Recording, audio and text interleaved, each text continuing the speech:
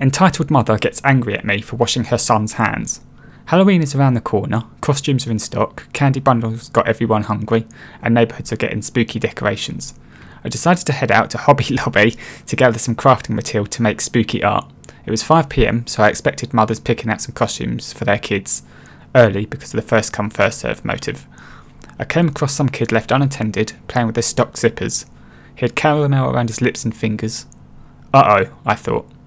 I rushed over to sanitize his hands and the zippers he touched. He then ran away to his mother. After I gathered some materials, I headed over to check out, and the same kid was standing by his mother. She was not happy to see me. What gives you the right to touch my little angel? Ma'am, you left your child alone, and he was covered in caramel. He touched the zippers with sticky fingers and. Sticky fingers? the child uttered, as, his, as he smothers her leggings with caramel. My son can do what he wants, so don't approach him again.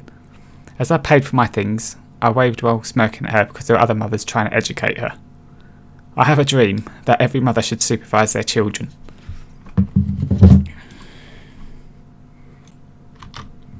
Entitled kid tries to steal my bike. My sister and I went to the park near our house to ride our bikes, and I set off on the bike track.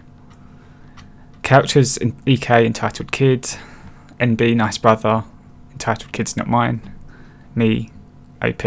Okay, so basically when I started off, I saw this kid nearby doing what looked like graffiti on the walls.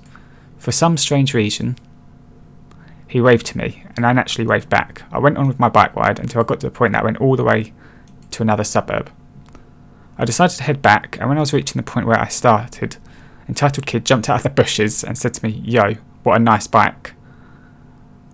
I worried that he might be up to no good said, Yeah, thanks. Entitled Kid then asked to ride my bike, and when I politely de- declined, he tried grabbing it away from me. He was an eight year old kid, I think, so it wasn't hard for me to wrestle the bike away from him. I was 15. Entitled Kid then started saying, Oh, Jesus, I'm not going to repeat that. Uh, why won't you allow me to get on the bike? I'm an 18 year old Indian kid, so yeah, that was a pretty bad insult there. I hear a voice, and NB walks up. It was that kid who was doing graffiti. He then shouts at his brother, saying, You faggot, let the guy have his bike. If I tell Dad, you'll be in some deep shit. Entitled Kid stopped, and I thanked NB and went on the way with the rest of my ride. Entitled Mum tells my mum to search through their kid's backpack, which is against rules for a one day overdue library book. Complains when my mum declines. Backstory My mum is a librarian at a 6 to 7 school building in my school district, and there's an automatic email that gets sent to the kids' email when there is an overdue book.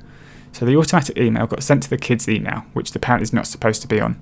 And my mum received an email from the parent on the kid's email that says that my mum should go to the kid's classroom and take the book out of his backpack, which is against the rules for a teacher to do so unless there's a reason to suspect there's drugs or something in there. When my mum sent back an email saying that the kid can just bring back after school, the mum calls the office and forces them to call the kid's classroom, saying that the kid needs to return the book now, even though there is no fine for overdue books unless they are just completely gone.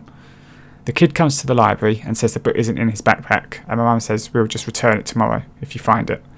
And the kid says my mum sounded really mad. My mum says just to tell her there's no fine and you can just bring it back when you find it. Entitled Dad is a giant asshole. So this happened about a year ago, so sorry if it's a little rusty. Me, EK, Mum, Dad. A little context this was at my friend's birthday party at a mini golfing place. We weren't really good friends, but we, but we rode the same bus. At the mini golfing place, there were two mini golfing rooms. I have no idea why, but I wanted to be the lone wolf, so I went into the other room. Up ahead was ED, EM, and EK. I was waiting for them to finish when I noticed a sign. One golf ball at a time on the roller coaster. There was one at that stage. So after EK's ball went to the other side, I went and putted. This is where the drama happened. Me, putts. ED, excuse me, young man? Yes? You can't go yet. Oh, sorry, sir. And he kept yelling at me for a minute or so. I thought that was the end of it. I was in a pissed off mood, so I went to join my friends. I accidentally bumped into EM. Excuse me, miss, in a very quiet voice as I passed through tightly.